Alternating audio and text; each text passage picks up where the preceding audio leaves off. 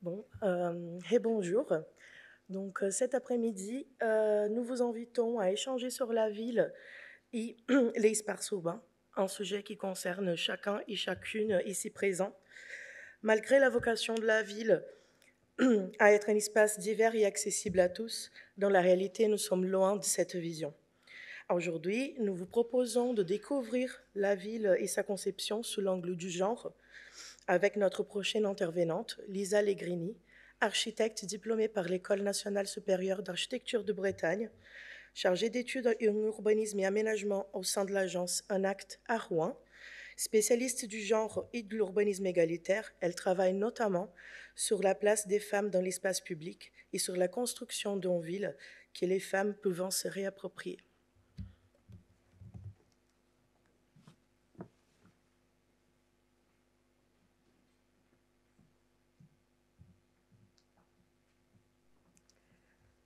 Bonjour à tous.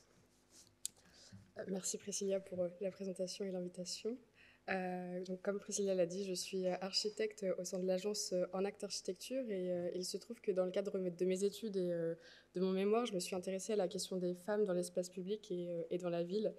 et je vais vous faire une petite présentation aujourd'hui.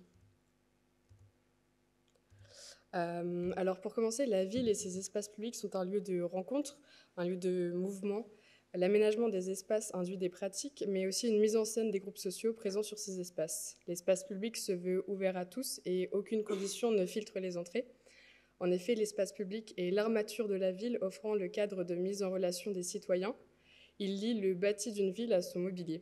Ces espaces sont porteurs de divers enjeux, ils sont la clé du bien vivre ensemble et ils sont les garants de l'intégration sociale, le lieu de la communauté et de la mixité sociale. Or, de nos jours, il est aisé de remarquer que les femmes et les hommes ne s'y déplacent pas de la même manière, n'utilisent et ne fréquentent pas les mêmes lieux et ne sont pas exposés aux mêmes problématiques. Euh, leurs motifs et les déplacements euh, de ces derniers ne sont pas les mêmes. Ainsi, l'espace dit public perd de son sens et de sa fonction puisque, euh, excluant certaines populations, il n'est pas totalement public et encore moins neutre. En ce sens, l'espace public creuse les inégalités et exclut les populations vulnérables, y compris les femmes. Les changements sociaux et économiques qui ont lieu aujourd'hui remettent en cause l'organisation de, la ville et ces villes ne sont plus à l'image de notre société. Euh, elles ont été, elles ont été faites par et pour les hommes et euh, nous devons euh, reprendre en compte ces, problématiques. Alors, la question que je me pose, c'est quel futur pour les femmes dans la ville? Aujourd'hui, quelle est la ville des femmes et quelle est ma ville quand je suis une femme? Donc les premières questions que je me suis posées, c'est pourquoi les femmes ont-elles un sentiment d'insécurité plus important que les hommes? Pourquoi et comment nos usages et nos comportements dans la ville sont si différents? Et comment ils produisent et renforcent les normes de genre, créant ainsi des discriminations et des inégalités profondes? On va commencer avec un chiffre, 65%. C'est 65% des femmes ont peur dans les espaces publics. Euh, le sentiment d'insécurité, désigne euh, le sentiment d'anxiété ou de peur qu'une personne ou un groupe de personnes puisse ressentir devant ce qui peut advenir. C'est le sentiment de vivre dans un environnement physique ou social favorisant euh, les ententes aux personnes. Il s'oppose au sentiment de sécurité et de sérénité. Et donc, dans la vie de tous les jours, 65% des femmes déclarent avoir un sentiment d'insécurité dans les espaces publics. Or, le sentiment de sécurité est l'un des points centraux de la fréquentation d'un lieu. Mais statistiquement, ce sont les hommes qui sont le plus souvent victimes euh, de violences dans l'espace public. Or, ils sont trois fois moins nombreux que les femmes à déclarer éprouver un sentiment d'insécurité. Ainsi, les femmes craignent d'être victimes d'agressions dont statistiquement elles sont relativement épargnées en comparaison avec les hommes. Alors pourquoi les femmes ressentent-elles un sentiment d'insécurité si statistiquement elles sont moins victimes de violences dans l'espace public? C'est assez simple, vous allez voir. Euh, donc euh, la première raison, c'est la peur car son sentiment d'insécurité est alimenté par la peur.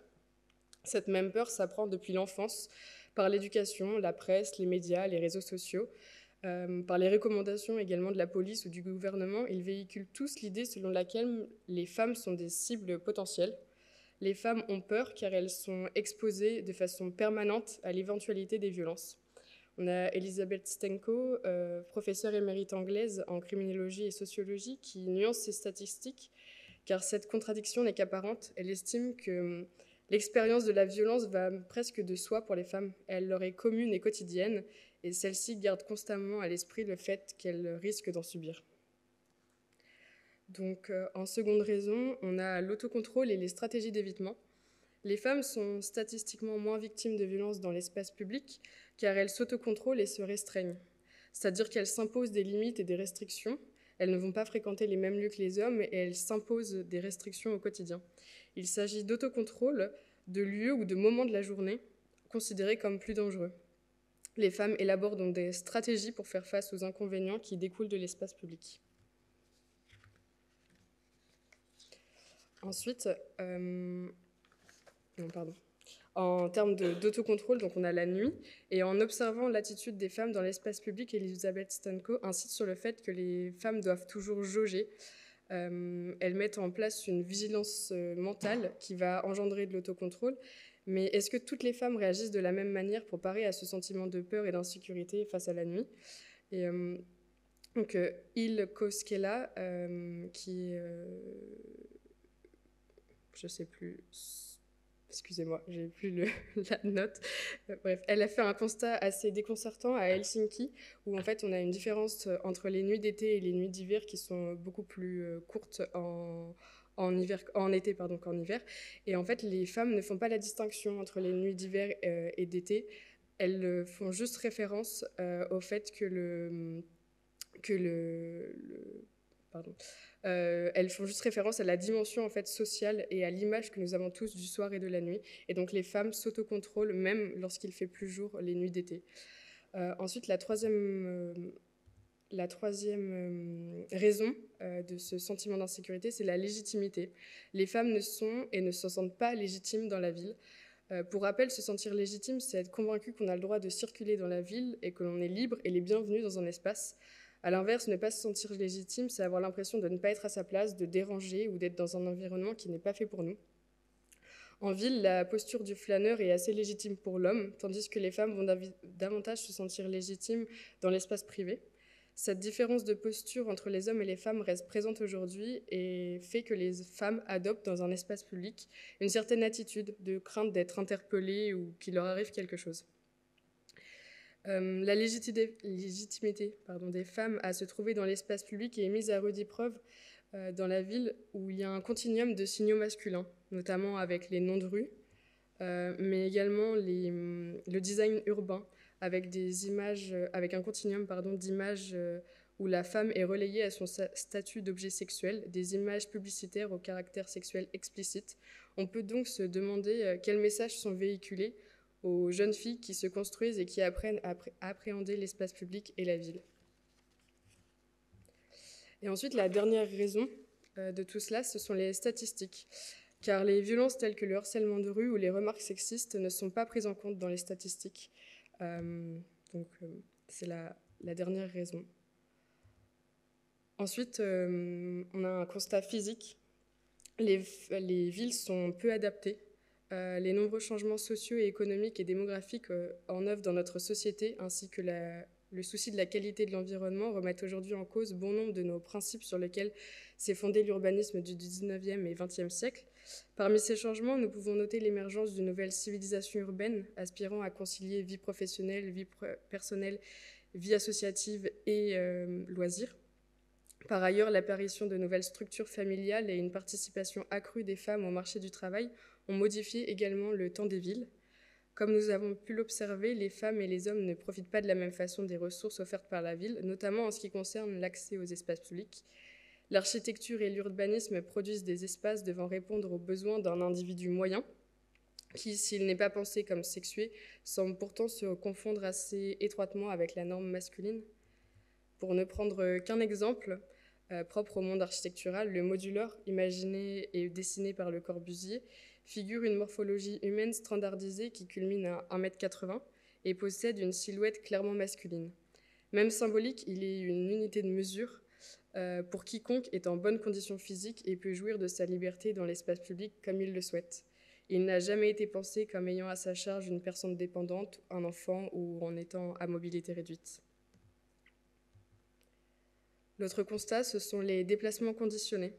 En effet, pour beaucoup de femmes, l'espace public est une extension de l'espace domestique. En effet, selon une étude de l'INSEE de 2015, 71% des femmes effectuent les tâches ménagères, 65% des femmes assurent les tâches parentales, et les femmes réalisent 75% des accompagnements des enfants, des personnes âgées et des personnes à mobilité réduite. En bref, les trajets quotidiens des femmes dans l'espace public sont conditionnés à un besoin de l'entourage proche ou du voisinage, enfants, foyers, aide aux personnes âgées, etc. On appelle cela le care. Donc les femmes, en fait, euh, subissent plus la ville qu'elles ne l'occupent. Et ensuite, la dernière raison, c'est la ville des hommes. Euh, Yves Rebaud, qui est géographe du genre, souligne dans son livre La ville faite par et pour les hommes que la ville des grands hommes n'est pas seulement une ville du passé, elle se construit également sous nos yeux sous la forme de grands stades consacrés au football, au rugby et destinés presque exclusivement à un public d'hommes. Elle se construit aussi à travers un archipel de petits espaces tels que des city-stades, des skateparks ou des terrains de pétanque qui sont d'autant d'îlots spécifiquement dédiés aux hum, loisirs euh, masculins. Les inégalités parlent d'elles-mêmes avec des chiffres. En France, les équipements de loisirs mis à la disposition des jeunes de 8 à 20 ans par les collectivités servent deux fois plus aux garçons qu'aux petites filles.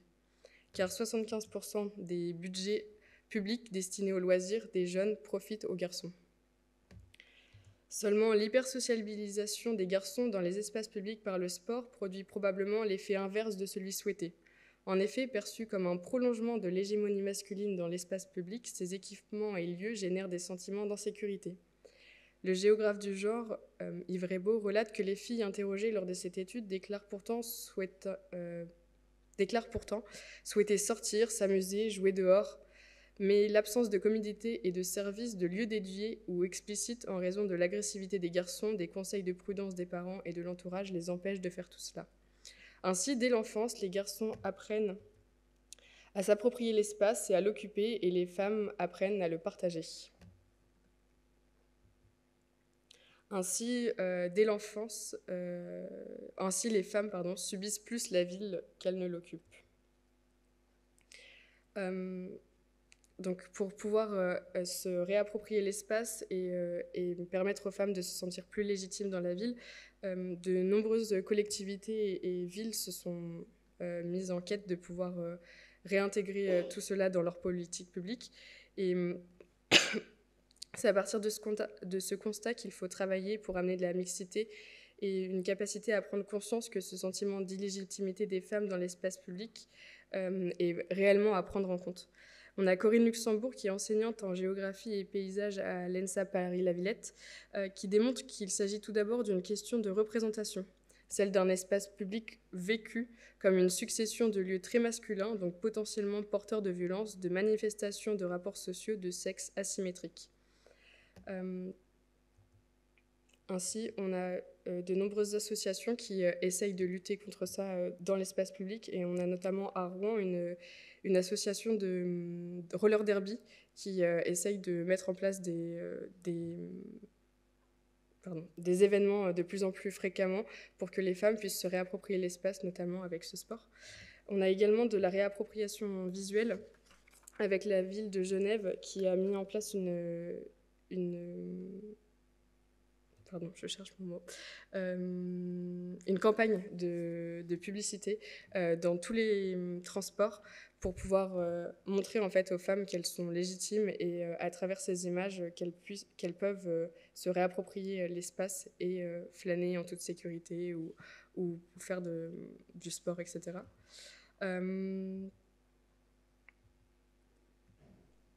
parce que la ville n'est pas achevée sur les questions du genre, alors je me suis posé la question ben, comment euh, construire des espaces publics plus accueillants pour toutes et pour tous, et en quoi une telle approche entraîne-t-elle des répercussions positives sur le sentiment de sécurité et d'appropriation de ces espaces, et concrètement quels indicateurs pertinents euh, construire pour un environnement, euh, mettre en place pour construire un environnement urbain plus égalitaire.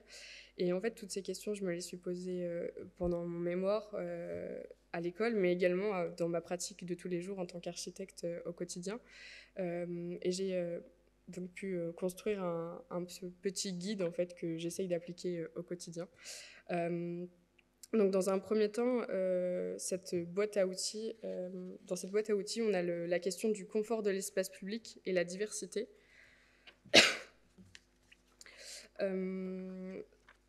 la question donc, du confort repose en partie sur la possibilité de marcher et de pratiquer un espace, mais aussi de s'asseoir et d'observer. Ainsi, en créant des espaces suffisants et adéquats, sans obstacles et accessibles à tous, les femmes et tous les citoyens vont se sentir légitimes d'occuper l'espace. Un travail sur le champ de vision permet également de réduire les obstacles et limite les situations d'isolement des personnes, ce qui permet de mieux voir les alentours et d'anticiper les difficultés éventuelles. La possibilité d'observer est donc essentielle puisqu'elle réduit le nombre de possibilités de sentiments d'insécurité. Euh, le confort passe également, puisque l'on parle de femmes, par la présence de sanitaires et d'eau. Puisqu'elles sont à l'origine de 75% des déplacements que l'on pourrait appeler du care, il est nécessaire que les, villes et les espaces publics proposent des sanitaires et de l'eau. Euh, en ce qui concerne la diversité, par diversité de l'espace public, j'entends la diversité des aménagements, mais également de l'offre euh, des aménagements au sein des villes et des espaces publics. Cela fait référence au point suivant, qui est l'attrait et les quartiers à hauteur du regard, puisque la conception d'une ville à échelle humaine repose sur la mobilité et la perception sensorielle, et puisque le sentiment d'insécurité peut naître justement d'une atmosphère ou d'une configuration d'un lieu, il est important de travailler sur l'échelle des bâtiments, mais également sur euh, l'attrait avec les façades et les rez-de-chaussée, puisqu'ils ont un impact déterminant sur la vitalité de l'espace urbain. L'idée n'est pas de créer que des quartiers en rez-de-chaussée, mais d'enrichir justement l'intensité des rez-de-chaussée.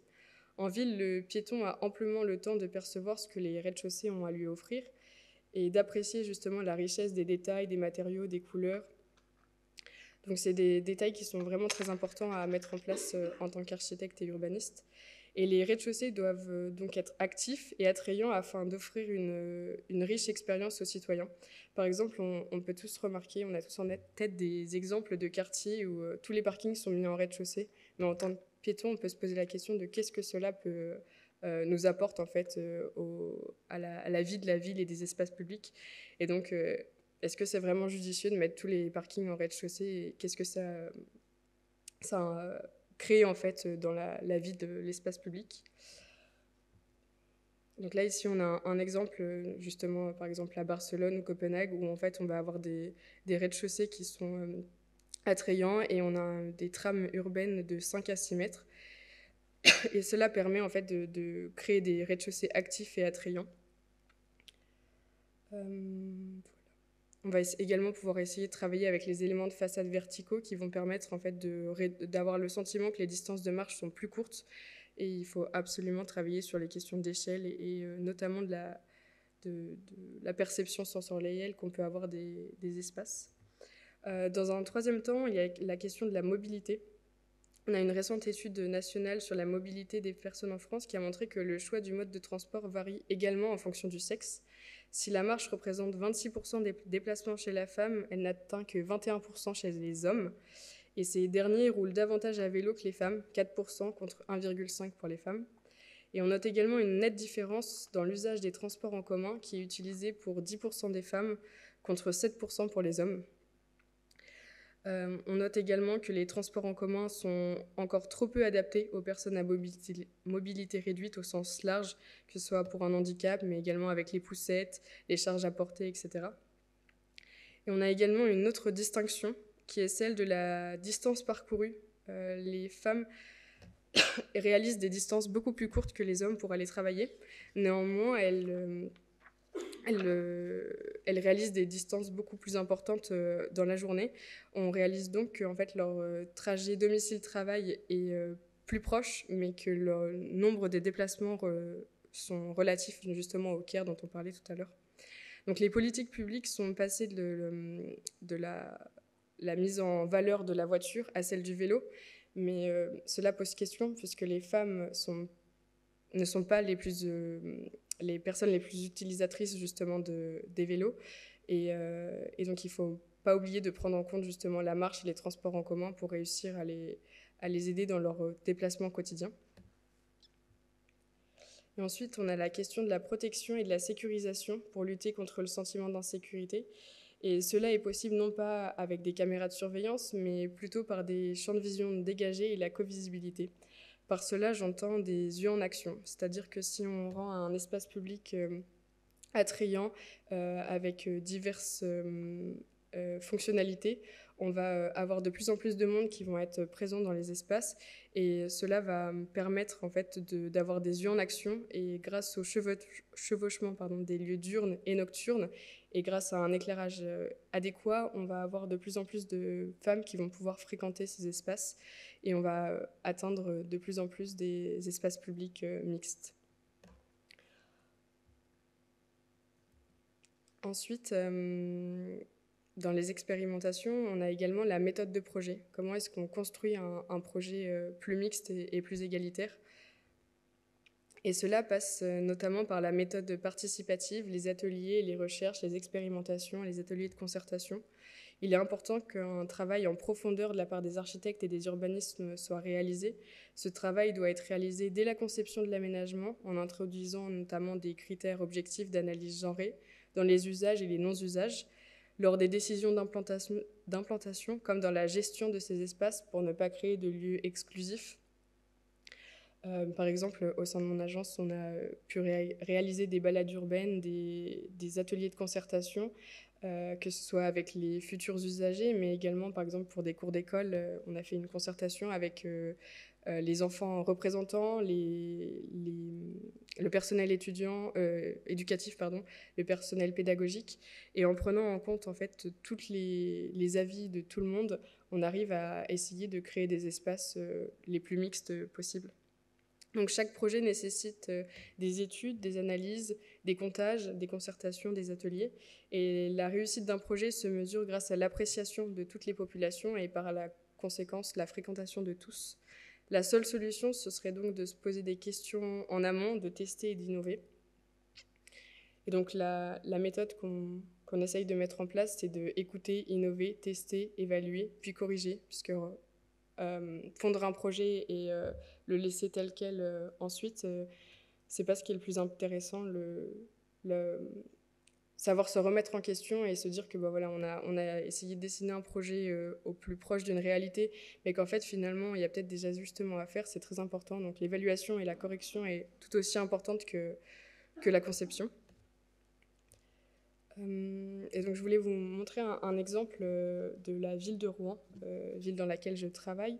il y a quelques années, le service urbanisme de la ville s'est rendu compte qu'il y avait des ponts euh, à Rouen qui étaient utilisés, euh, enfin qui étaient empruntés principalement par des hommes et d'autres qui étaient beaucoup plus mixtes. Et euh, ce premier constat a, permis de se poser quelques questions sur la ville. Et donc ils ont essayé de prendre en compte un peu plus un peu plus euh, la question du genre et, de la mixité. Et ensuite, lors d'un autre projet, euh, notamment le Champ des Bruyères, qui est un parc métropolitain à Rouen, ils se sont posé la question de comment justement essayer de, favoriser la, présence des femmes dans cet espace. Vous avez quelques petites photos, et, euh, notamment, donc, si on voit la souris. Euh, donc ça, c'est l'ensemble du parc et on a une, aire de jeux euh, et de pratiques sportives qui est tout au nord. Et ils se sont posé la question de comment euh, inciter les femmes justement à utiliser cet espace de, de, jeux et de pratiques sportives pour les inciter à, utiliser l'espace public et à faire du sport dans l'espace public. donc le, l'espace a été dessiné de façon, euh, par l'agence euh, Mutabilis, euh, de façon à pouvoir faire du foot, du basket, du street workout, il y avait également du skate et oui c'est tout. Ensuite là ici c'est les, jeux pour enfants. Et donc la, métropole de Rouen euh, avait décidé également ici de mettre euh, une zone en fait qui soit libre euh, en pensant que les femmes allaient peut-être pouvoir faire du yoga ou des pratiques plus douces. Et dans les faits, quand on a fait des comptages et, et des observations, on s'est rendu compte en fait que les femmes étaient principalement au niveau des aires de jeu pour enfants, qu'elles n'utilisaient très peu ou pas les espaces sportifs et que cette aire de, de yoga était absolument pas utilisée on s'est posé la question de pourquoi. En fait, il se, trouve que l'aire de yoga a été euh, à proximité de l'espace de street workout, euh, l'espace de jeu où les garçons faisaient principalement du foot, et là, ici, du skatepark. C'était clairement pas un espace qui était adéquat pour euh, la pratique du yoga. donc voilà, la métropole a, pris ça en compte et va essayer de changer peut-être l'espace. Puisqu'il se trouve qu'en fait, en mettant le, foot ici, ils ont essayé de le mettre à, plus sonore pour qu'il impacte le moins possible en fait les autres espaces, mais en fait finalement l'air de foot a, une emprise beaucoup plus importante que ce qui était prévu sur l'ensemble de l'espace. Euh, et puis, quelquefois, en fait, euh, certaines femmes faisaient du yoga plutôt ici et venaient lire plutôt ici. Donc, euh, la question, c'est pourquoi pas, en fait, étendre justement l'air de, de, de, pratique sportive pour essayer peut-être de trouver des espaces un peu plus intimistes. Et voilà. Donc là, ce qui était important, c'est qu'en fait, la métropole a, livré un projet, mais ils se sont posé la question de est-ce que ce projet marche et qu'est-ce qu'on peut faire justement pour l'améliorer? Et, c'est en ça que je pense qu'on on devrait euh, tous aller vers euh, ce genre de pratique puisque c'est important de livrer un projet, mais il faut qu'on arrive à, savoir s'il fonctionne réellement, puisque l'intérêt d'un architecte ou d'un urbanisme, c'est que son projet fonctionne en fait, et, s'il n'est pas utilisé par les, par les personnes, euh, et à contrario, parfois on est assez surpris, on imagine quelque chose, et puis en fait les utilisateurs vont le détourner et l'utiliser autrement, et c'est aussi parfois ça justement le la petite marge qu'on peut laisser. Et euh, ne faut pas forcément tout dessiner, mais c'est important de revenir en, arrière, enfin après euh, et pouvoir regarder. Euh, on a un autre exemple à Rouen qui s'appelle, ce sont les Keba Rive Gauche. Je vous fais une vraie promotion de Rouen, j'espère que vous viendrez nous rendre visite. c'est en bord de Seine. on avait un espace qui était très peu utilisé euh, euh, avant le réaménagement, euh, à part quelques semaines par an pour une foire avec des manèges. et il y a quelques années, donc la métropole a réaménagé entièrement cet espace. C'est le Jacqueline Hostie qui a dessiné tout ça et c'est un projet qui est assez réussi puisque la plupart des Rouennais utilisent cet espace. Et on va s'intéresser notamment à l'ère de, de, sport parce que c'est quelque chose qui, qui est assez important, euh, je pense, dans les espaces publics, la pratique du sport pour les femmes. Euh, et donc sur cet espace, euh, puisque la métropole s'était rendu compte que certaines femmes n'utilisaient pas les, mm, certains ponts, ils se sont vraiment posé la question de comment amener les femmes à utiliser davantage l'espace public. Et à l'origine du projet, trois espaces de street trois espaces pardon, de city stade devaient avoir lieu sur cet espace de, de sport. et au dernier moment, le directeur de l'aménagement et des grands projets s'est dit non, non, trois espaces de CityStat, c'est beaucoup trop. On va, on va essayer de trouver quelque chose pour que les femmes puissent se, réapproprier l'espace. Il a décidé de faire une piste de roller derby. Il s'est dit, au pire, c'est de la peinture. Si ça fonctionne pas, et eh ben, on efface la peinture et on mettra autre chose. Et au mieux, et eh ben, on aura des femmes qui utiliseront cet espace. Euh, donc c'est ce qu'ils ont fait. Et il se trouve que vous retrouver la photo que je vous ai montrée tout à l'heure. Et en fait, euh, l'espace est très mixte, puisqu'on a des femmes qui viennent faire euh, du roller derby, mais on a également des, rassemblements, on a des espaces de street workout qui sont de plus en plus mixtes, puisque euh, l'importance des espaces de street workout, c'est pas de proposer que des, agrès qui font développer le haut du corps et, les, les biceps et les triceps et tout ce que les hommes ont plus envie de développer euh, euh, sur ces espaces. Euh, mais ils ont essayé de, proposer des agrès plus mixtes avec des, tailles et des poids différents, puisqu'on ne fait pas tous 1m85 et on n'a pas tous envie de soulever des haltères de 30 kg. et donc, en fait, il se trouve que l'espace est, de plus en plus mixte et, et assez fréquenté de façon mixte. Et récemment, la métropole a également mis en place une nouvelle campagne d'éclairage. Et donc, les espaces sont de plus en plus éclairés, mais pas avec juste des, lumières blanches. Et donc, on a des, pratiques de plus en plus mixtes et c'est assez, euh, assez chouette à voir. Euh, J'ai pas du tout suivi mes notes. Euh, pour conclure, euh, euh, il est important de rappeler que chaque projet urbain reste unique et qu'un aménagement inclusif réussi dans un quartier pourra ne pas avoir les mêmes résultats dans un autre.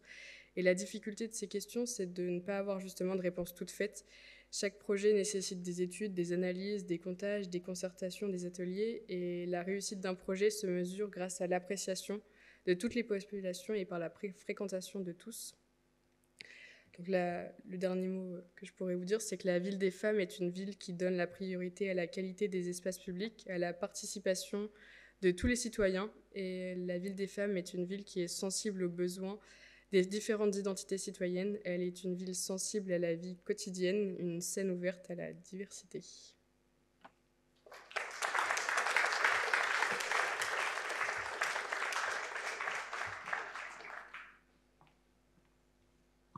Merci Lisa pour euh, euh, cette intervention.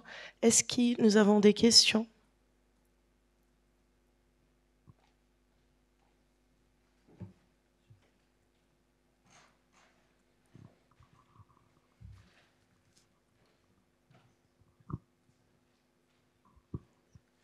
Ouais, moi j'ai une remarque sur euh, bah, la vie des femmes. On dit oui, voilà, il y a plus de points d'eau, plus de toilettes j'ai l'impression que c'est aussi des choses qui bénéficient aux hommes. Je ne vois pas dans les, aménagements des choses qui vont gêner euh, la sociabilisation des hommes. C'est contrairement à la ville des hommes qui exclut les femmes, la ville des femmes est plutôt même plus agréable pour les hommes que la ville des hommes elle-même. Alors pourquoi ce nom? Est-ce que c'est -ce c'est un truc un peu engagé ou, Complètement. En fait, euh, ce que j'ai oublié de préciser, c'est qu'en euh, en s'intéressant justement à la question des femmes et du genre, on va venir aussi prendre en compte euh, les enfants, les personnes à mobilité réduite, les personnes seniors. En fait, la, question, c'est complètement engagé et c'est un peu, un peu coup de poing, mais c'est justement pour faire réagir et pour, pour montrer en fait qu'il y a encore beaucoup de choses à faire pour rendre l'espace public inclusif. Mais je m'attaque à la question des femmes, mais en fait, euh, c'est pour tous. Et, euh, en, travaillant justement sur la question du genre, on va, euh, par exemple, créer des espaces qui vont être plus agréables pour les enfants, pour les personnes âgées, pour les personnes malvoyantes. En fait, c'est un biais, mais qui va permettre de bénéficier à beaucoup plus de populations. Et effectivement, j'appelle ça la ville des femmes parce que parce qu'il faut parfois crier pour se faire entendre, mais c'est vraiment une, une ville pour tous, en fait. Et est-ce que, pour, pour la question que je voulais poser, est-ce qu'il y a des réticences face à ça? Est-ce qu'il y a des attaques de la part de certains hommes qui sont contre cette ville des femmes? Ou est-ce que c'est plutôt quelque chose de, de, comment on appelle, qui fait consensus, de consensuel? Je pense pas que les hommes soient contre ça, mais euh, beaucoup s'interrogent et pensent qu'il y a, c'est un non-sujet, qu'il n'y a pas de sujet en fait. Euh, euh, que le sentiment d'insécurité, effectivement, c'est un sentiment. C'est dans notre tête. C'est à nous de. En fait, euh, certains vont nous répondre qu'on personne nous empêche d'aller en ville, personne nous empêche d'aller dans l'espace public. Euh, donc pour beaucoup, c'est un. Ouais, je pense que c'est un non-sujet. Mais en, sensibilisant et en en parlant de plus en plus, justement, c'est. Je pense que c'est le moment où on va pouvoir euh, prendre davantage en compte justement c'est la question des femmes, mais aussi des enfants, des, toutes les, minorités.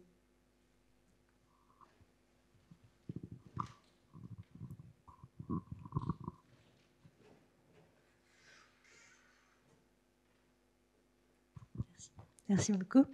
Euh, alors, c'est pas tout à fait une question, c'est une remarque. Je voulais vraiment insister, en fait, parce que c'est un sujet qui me tient à cœur euh, sur euh, l'importance des sanitaires pour les femmes en particulier. Parce qu'en fait, il y a un phénomène qui s'appelle la, laisse urinaire, en fait. C'est le fait que les femmes n'osent pas s'éloigner trop de chez elles car elles ne trouvent pas de, de sanitaire public.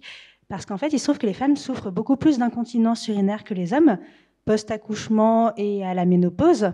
Euh, notamment, et qu'en fait la majorité des femmes souffrira d'incontinence à un moment de sa vie, et euh, c'est un vrai problème, en fait, de ne pas réussir à trouver de, de sanitaires sur son chemin. Parfois, il y a des sanitaires publics, mais qui sont fermés au bout d'un moment par problème d'entretien, problème de dégradation. Mais euh, voilà, il va vraiment falloir régler ce, ce problème-là un jour. Et merci. Je suis complètement d'accord.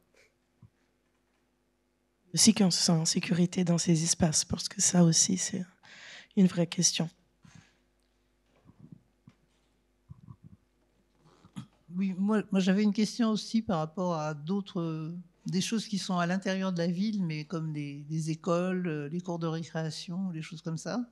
Parce que je pense qu'il y a aussi, euh, dans la manière dont les gens, enfin, dont, les enfants, garçons ou filles, occupent différemment la, par exemple, la cour de récréation, c'est peut-être des choses qu'on retrouvera après à plus grande échelle euh, dans la ville. Donc, je voulais savoir si, si vous travaillez là-dessus également. Alors, il y, a, des...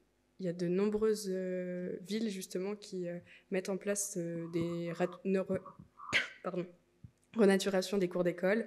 Et, euh, justement, au sein de, mon agence, on, a œuvré pour la concertation dans, le cadre d'un, de la renaturation des cours d'école et on a essayé de prendre en compte justement la, parole euh, des garçons, des petites filles et euh, on, a travaillé avec un, des, des paysagistes pardon, qui euh, ont essayé de retranscrire justement en plan euh, ces questions pour euh, ne pas en fait laisser la, question du, football en plein milieu de la cour et les filles qui sont reléguées autour, mais justement pour permettre la mixité.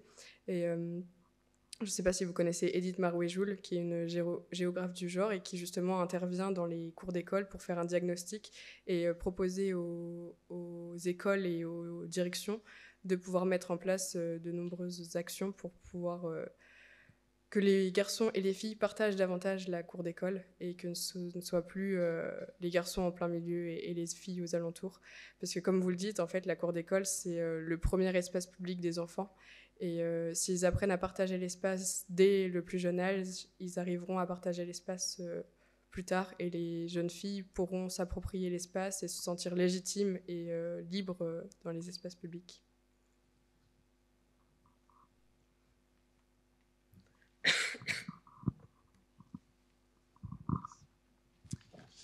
Euh, merci pour votre présentation. Euh, j'ai trouvé très euh, intéressant le, dernier exemple avec le, voilà, cette zone où c'était le chef de projet qui disait qu'on pouvait mettre la peinture au sol et si ça marchait pas, effacer et, refaire. Et, et, en fait, on voit que c'est très mixte et j'imagine qu'en fait, le, comme c'est que de la peinture au sol, peut-être que certaines zones attribuées à une activité sont utilisées différemment.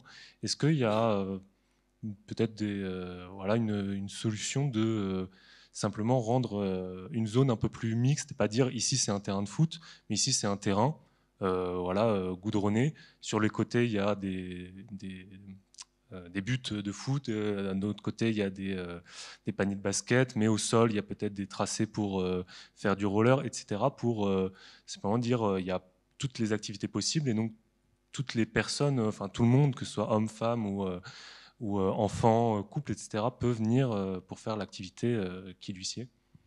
Oui, vous le voyez sur cette photo, en fait, c'est là la piste de roller derby. Et en fait, on se rend compte que parfois, il n'y a pas de femmes qui font du roller, mais il y a des enfants qui vont jouer au basket. Y a des, en fait, c'est des espaces qui sont complètement ouverts et c'est que de la peinture au sol. Donc, en fait, les gens s'approprient facilement les, espaces et, font un peu ce qu'ils veulent. Et quand on passe, on se rend compte que il n'y a pas forcément que, euh, que les usages qu'on attendait, en fait. On a des... Les gens s'approprient l'espace, en fait. Et là, ici, on a juste à côté, en fait, un jeu. Donc, parfois, en fait, les enfants, ils continuent à jouer, et puis euh, ils vont jouer autour euh, avec, en jouant sur les lignes, etc.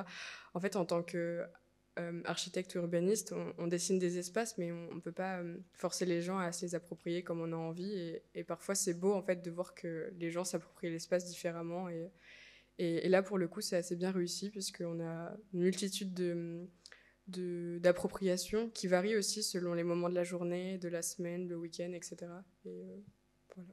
Donc l'idée, c'est d'essayer de, créer des espaces euh, euh, assez perméables, en fait, de ne pas créer des espaces complètement fixes et fermés, mais justement de permettre l'appropriation par tous. Alors j'ai une question à distance, le temps que le micro recircule. Est-ce que ce shift d'urbanisme, donc c'est Diane hein, pardon, qui pose la question, est-ce que ce shift d'urbanisme ne dépend pas trop de quelques personnes, par exemple les maires, présidentes de régions, etc., pour avoir lieu Ou est-ce qu'il y a des recommandations, obligations nationales? Euh, Je ne suis pas sûre qu'il y ait de, chiffres euh, de, que le, comment dire? Que ce soit imposé, enfin c'est même sûr, c'est pas encore imposé. Justement, il y a des, personnes qui militent pour que ce soit euh, de plus en plus pris en compte dans les, appels d'offres, les concours, etc. Mais pour l'instant, il n'y a, pas d'obligation à prendre euh, le genre en compte dans la dans l'aménagement des espaces. Et, euh, et c'est vraiment propre en fait à chaque ville, à chaque municipalité et à chaque pouvoir public. Euh, oui, merci pour votre présentation. Euh, vous avez mentionné un chiffre qui, euh, nous a étonné. vous aviez dit, je crois, que 4% des hommes prenaient le vélo de manière régulière et 1,5% des femmes. Et hum, ça nous a étonné. Et est-ce que vous avez des, explications, des, des, causes justement de cette différence homme-femme en vélo notamment? Euh, alors pour être honnête, les chiffres m'ont étonnée moi-même puisque je suis euh, utilisatrice de vélo au quotidien et, euh, à Rouen j'utilise le vélo. je pense, mais c'est vraiment que mon propre avis, que le fait de, devoir emmener ses enfants à l'école, de, devoir s'occuper des courses, etc., l'utilisation du vélo est beaucoup moins propice justement à tout cela.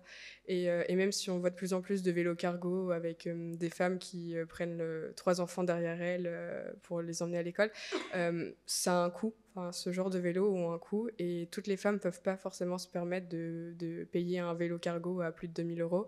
Et donc je pense que la solution de facilité, ça reste les transports en commun, puisque beaucoup plus facile de, de prendre une poussette, de ramener les courses, de... voilà, je je ne sais pas si ça répond à la question, mais c'est. Voilà. Je, ce n'est que mon avis, je n'ai pas de réponse euh, vraiment précise. Alors, moi, j'ai une question sur. Merci. Euh, j'ai une question sur les temps libres. En fait, est-ce que vous savez combien de temps libre a une femme par rapport au temps libre qu'a un homme? Alors, j'ai pas le chiffre exact, mais je crois qu'il est assez faible par rapport à celui des hommes. Euh, j'ai déjà lu ce chiffre, mais je l'ai plus en tête. Vous l'avez peut-être? Non, non, je ne l'ai pas. C'est une question vraiment euh, à propos de, de l'appropriation des, des, espaces de, temps libre. Est-ce que c'est quelque chose qu'il faudrait peut-être améliorer a priori? Euh, Oui, je pense, mais là, j'ai pas de, j'ai pas le chiffre exact. Je suis désolée. Merci. Euh, déjà, euh, je vous félicite pour la qualité du diaporama et les, photos de Viviane Mayer que j'ai reconnues tout de suite. Euh, en fait, moi, la question, c'était plus par rapport à l'éclairage et la sécurité des femmes. vous avez un petit peu abordé le, le, sujet, mais je voulais savoir justement comment vous interagissez avec les villes qui, euh, on le comprend bien, dans des politiques aussi de réduction des coûts, éteignent euh, les éclairages publics euh, à certaines heures en, ville. Et en même temps, cette notion de sécurité quand même chez les femmes, ou quand même pour un certain nombre d'entre elles, le fait que ce soit éclairé, ça, ça contribue quand même à les sécuriser dans l'espace public. Alors, dans ma pratique euh, d'architecte, je n'ai pas encore eu euh, l'occasion de travailler justement sur le sujet, mais je sais que beaucoup de villes mettent en place des, des détections de mouvement, enfin des éclairages à détection de mouvement, qui permettent en fait de réduire justement l'éclairage et euh, faire des économies d'énergie, mais de pouvoir éclairer en fait les espaces justement pour la question de la sécurité, mais que ce soit, comme on l'a dit tout à l'heure, pour les femmes, mais aussi pour les hommes. Enfin, la, question de, l'éclairage, euh, elle nous concerne tous. Euh, donc j'espère que ça va pouvoir se, se, développer et se mettre en place, mais c'est pas encore complètement élargi à, l'ensemble des villes. Y compris pour les personnes âgées ou même les franchissements de trottoirs, ce genre de choses. Complètement. Il y a d'autres questions Ben moi, donc, donc, je me permets de poser une. Euh, tu as parlé beaucoup des espaces qui sont euh, typiquement euh, masculins alors dans l'espace public, comme les, zones sportives. Est-ce qu'il y a un, équipement hors les toilettes qui soit typiquement féminine, féminin dans l'espace public ou pas forcément? Mmh, C'est une question piège. non, là, comme ça, j'en ai pas. En fait, justement, on, essaye de, penser les espaces pour euh, euh, pas reproduire l'inverse justement de la ville des hommes. Enfin, l'idée c'est de proposer des espaces mixtes euh, et pas de faire des, espaces euh, uniquement pour femmes, même si des études montrent que des espaces uniquement pour femmes sont aussi très importants puisqu'ils vont permettre d'ouvrir la parole, de permettre aux femmes de, de se sentir plus légitimes, de euh, par exemple, on a des, il y a des exemples, je crois que non, je voudrais pas dire de bêtises, je vais pas citer de ville, mais je sais qu'il y a des villes qui font des, des, balades urbaines uniquement féminines ou des concertations uniquement féminines, puisque les femmes vont se sentir plus à l'aise de prendre la parole quand elles sont qu'entre elles et euh, ouais, elles vont être beaucoup plus, plus à même de parler et d'oser prendre la parole. Euh, voilà, ça, je sais que ça se fait. Après, des espaces vraiment typiquement féminins, je pense pas que. Mais même les toilettes, c'est pas typiquement féminin. Il n'y a, pas de.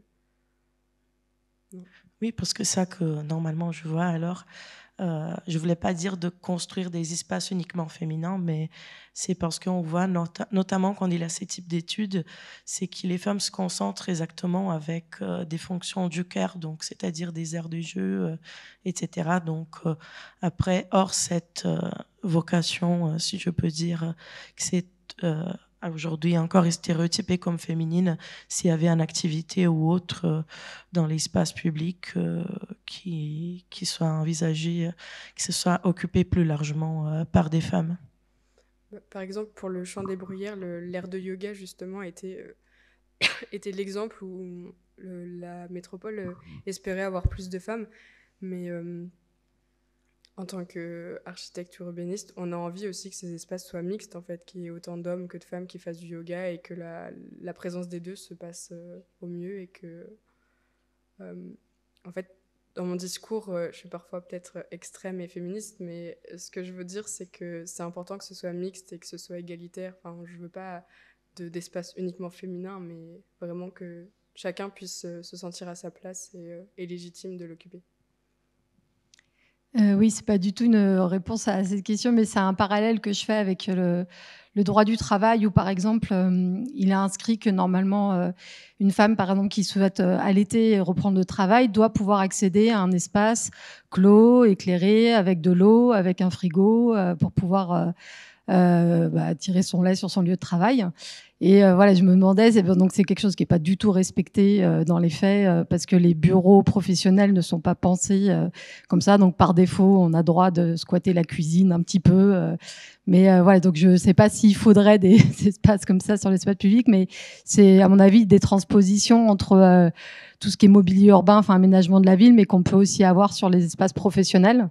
Et aussi bah, sur les espaces type une université ou quoi. Donc c'est complètement. Là, euh, la conférence portait euh, principalement sur l'urbanisme et les, espaces publics, mais euh, on pourrait faire exactement la même sur l'architecture et comment on, arrive à prendre davantage en compte le quotidien des femmes dans l'architecture et comment on peut leur permettre d'avoir une pratique beaucoup plus aisée au quotidien. récemment, j'ai pu travailler sur un espace petite enfance et en fait, euh, on se rend compte que la plupart euh, des personnes qui apportent les enfants euh, à l'école, en crèche, etc., bah, c'est principalement des femmes. Donc comment est-ce qu'on peut réussir par l'architecture à leur faciliter leur quotidien? Ça, peut être mettre à disposition justement des salles d'allaitement, mais également un espace pour, par exemple, laisser la poussette toute la journée pendant que la femme part travailler, etc. C'est ce genre de, de choses qu'on peut essayer de mettre en place et, qui est assez intéressant à, sur lequel se, questionner et s'interroger euh, euh, je vais juste poser un, regard un peu sociologique. Peut-être je vais poser des questions qui seront un peu plus euh, critiques, parce que là, on parle. C'est peut-être pas des questions que vous pourrez, auxquelles vous pourrez répondre, mais moi, c'est des questions que je me pose, parce que vous parlez d'occupation de l'espace public. Et on sait bien qu'il y a des travaux sociologiques qui montrent que même au niveau des, de la jeunesse, en fait, dans la distribution des tâches ménagères, les filles sont euh, socialisées à s'occuper davantage des tâches ménagères que les hommes, les garçons, ce qui libère suffisamment du temps aux garçons donc de sortir du, ménage et donc euh, éventuellement d'aller occuper l'espace public. Et ces mêmes travaux sociologiques qui montrent qu'il y a une différence euh, dans la distribution, l'occupation des tâches en fonction des classes sociales. Donc plus on appartiendra à une classe euh, populaire, euh, ce sera davantage, il y aura, ce sera moins, moins égalitaire. Donc les filles auront beaucoup plus de temps à passer dans les tâches ménagères. Et mais plus on monte dans les classes sociales, c'est-à-dire on arrive au, niveau des classes supérieures, qui ont les capacités quand même éventuellement de se, de, de, de, de se payer les moyens d'avoir des femmes de ménage, par exemple, qui libèrent du temps aux femmes, aux jeunes filles, Donc, euh, ces jeunes filles-là qui donc, y a une, euh, répartition euh, égalitaire des tâches. Donc, finalement, euh, en partant de ce prisme-là, moi, je me pose la question est-ce que, euh, en travaillant euh, d'un point de vue euh, urbanisme euh, seulement en étant peut-être en posant pas la question justement du partage entre vie privée, vie publique, est-ce que euh, en favorisant l'accès des femmes à l'accès public, on ne favorise pas l'accès des femmes issues des classes euh, moyennes ou supérieures et en étant un peu plus aveugle en fait du sort des femmes issues des classes populaires? Donc la question sera finalement est-ce que dans dans vos travaux vous prenez en compte les caractéristiques sociodémographiques des femmes qui occupent les espaces publics? Euh, oui, oui, oui. C'est euh, quelque chose que j'ai pas pu évoquer puisque sinon ça aurait été beaucoup trop long. Mais effectivement, il y a des études qui montrent que, euh, par exemple, pour la question de la mobilité, les transports en commun, c'est important justement d'élargir les horaires de- des transports en commun, puisque on sait que les, personnes avec les, les revenus les plus bas vont être les plus éloignées de la ville, donc justement vont être plus dépendants des transports en public. Et vous parlez par exemple des, femmes de ménage. Euh, c'est ces femmes-là qui vont intervenir euh, et nettoyer nos bureaux euh, avant le, 9h, avant les- l'ouverture des bureaux et après la fermeture des bureaux. Donc en fait, c'est ces femmes-là qui vont utiliser les transports en commun sur, des, sur des horaires beaucoup plus tôt ou beaucoup plus tard. Et justement, d'où l'importance en fait de, prendre en compte ce, prisme-là et de, pour pouvoir agrandir justement la, la plage horaire des transports en commun. Donc non, je suis pas sociologue, je, je peux pas, je connais pas toutes les études, mais c'est vrai que c'est quelque chose qui est assez intéressant euh, à étudier.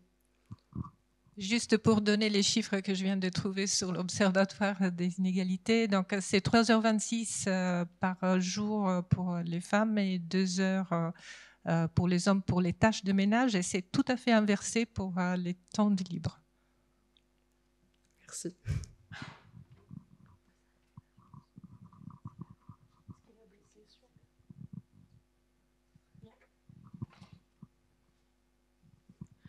Merci Lisa. Merci à tous.